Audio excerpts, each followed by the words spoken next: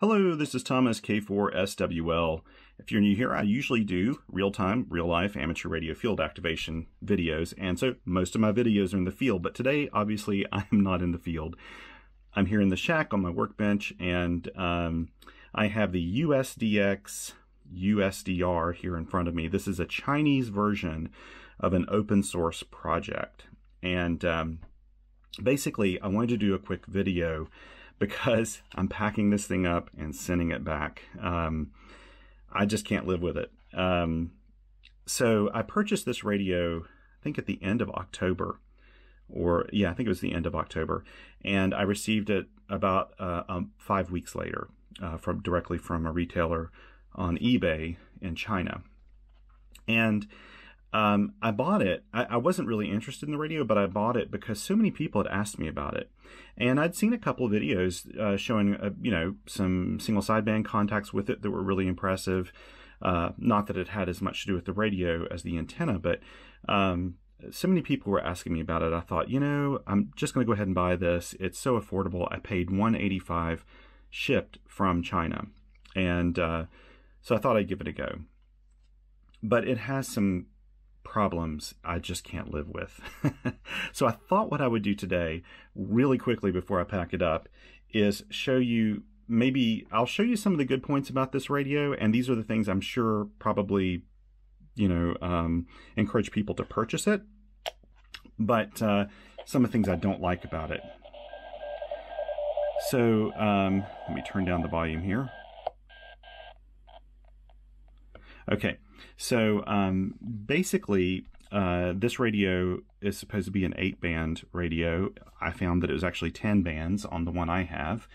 Um, the, the, these are in the pro categories right here. The exterior construction is actually really good. I like the knob. I like the buttons. I like. I mean, it's it's a hefty little radio, and it's really small. I mean, it would definitely fit in a backpack or something. You could bang it around; it'd probably be just fine. Um, you know, which is really good.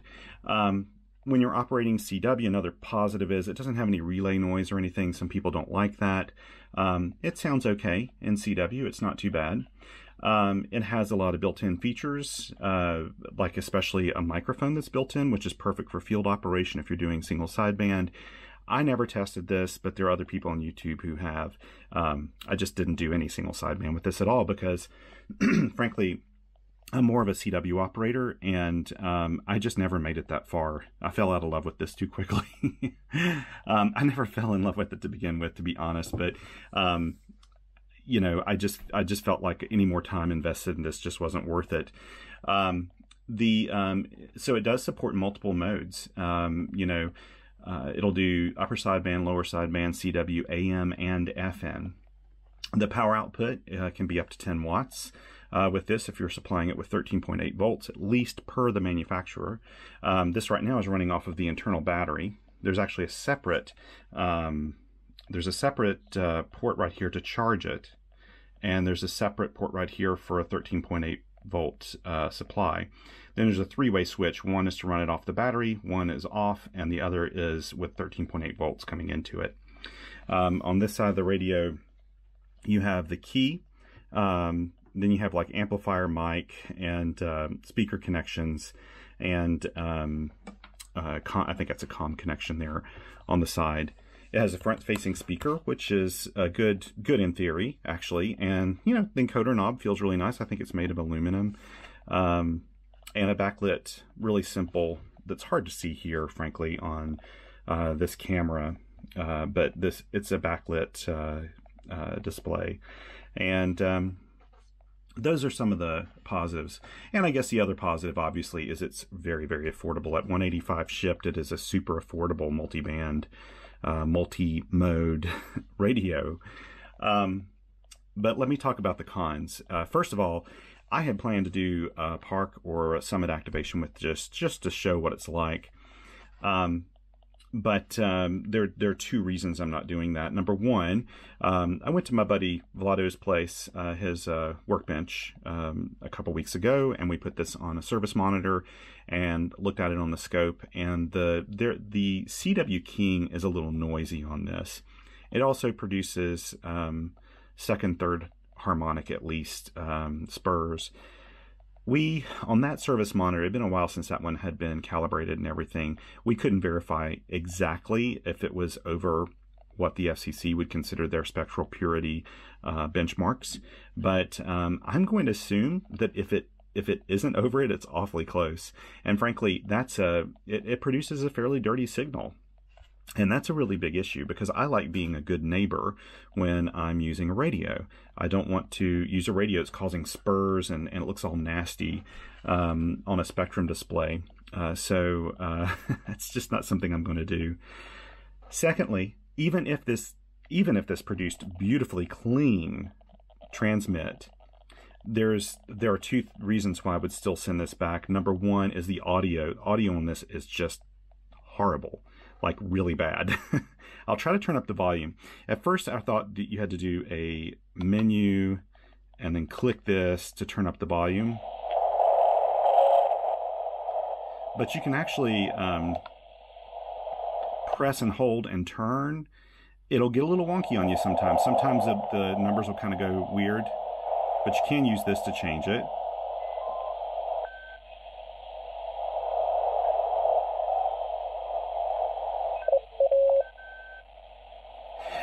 Um, I prob probably can't pull up an example in such a short uh, period of time here. But just listen to the audio. I'll try to be really quiet so the camera can pick it up.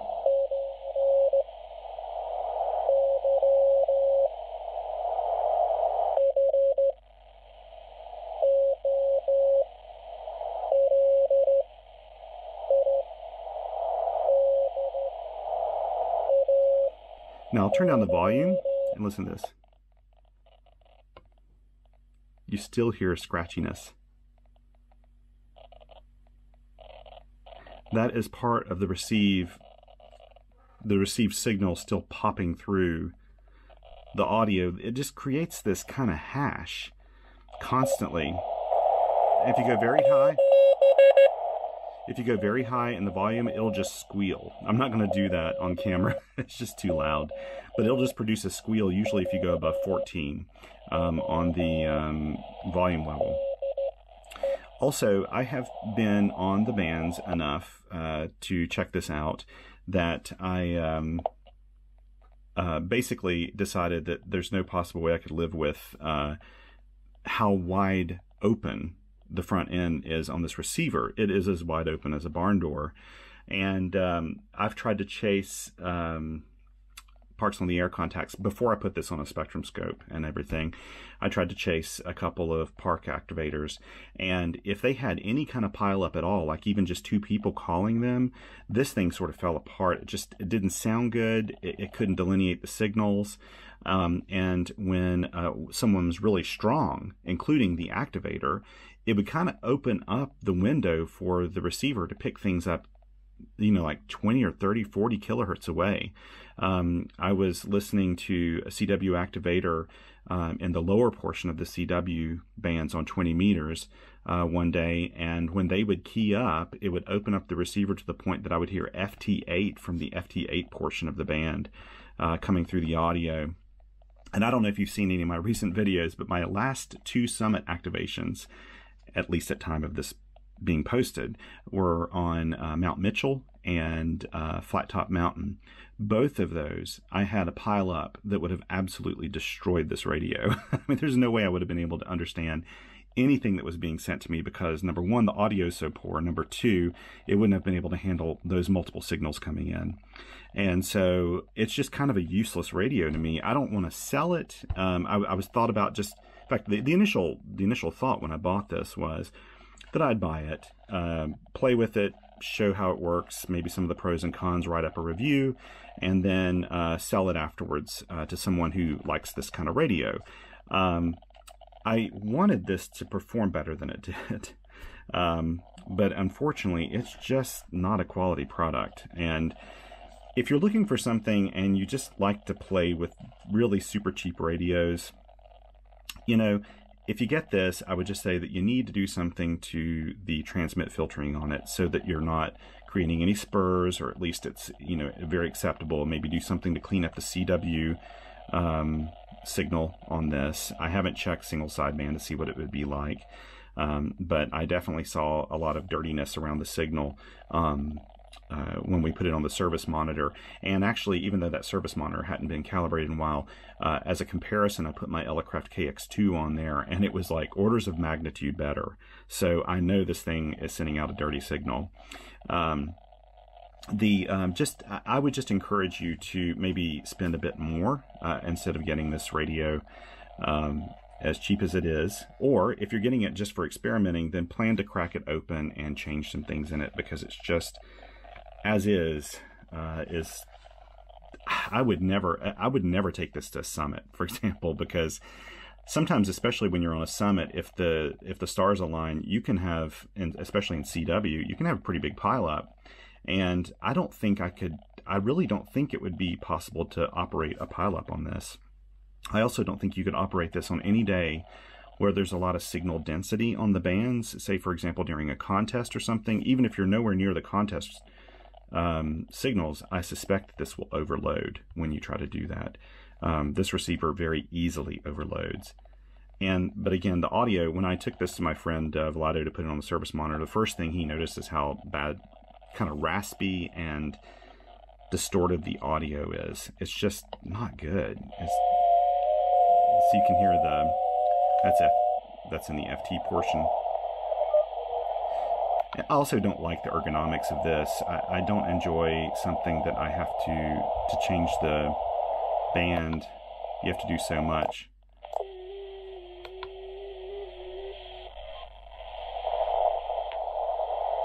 Just listen how the noise floor is just all over the place. I'm pretty sure that if Rob Sherwood tested this, they would find that it, he would find that it's like one of the poorest performers he's ever tested. But anyway,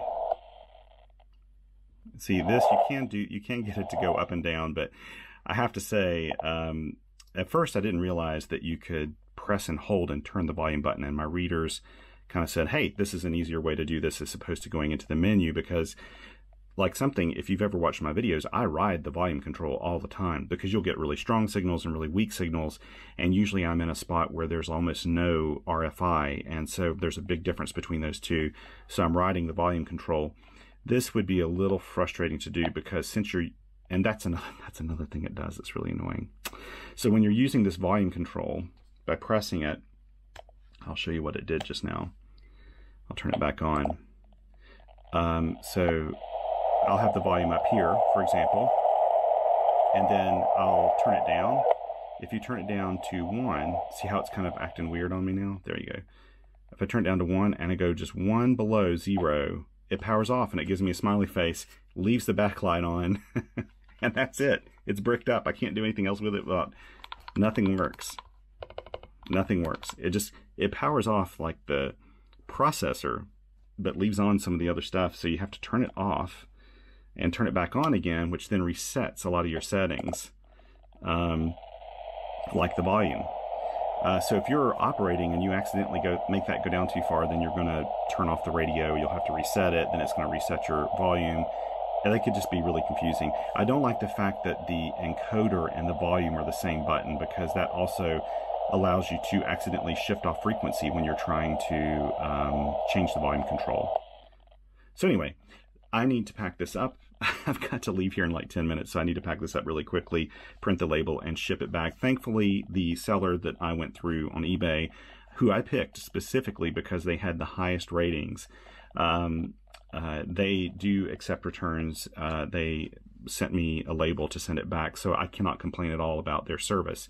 Now, they did try to convince me to keep it. They wanted to offer me a partial credit, and I said, nope, I'm just not interested at all. Um, and this, and I should tell you, I'm not the sort of person that returns things a lot. Uh, this is probably maybe maybe the first time I've ever returned something on eBay. For all I know, uh, I tend to buy stuff, and if I don't like it, I'll just eventually sell it or give it away. Uh, is what I do.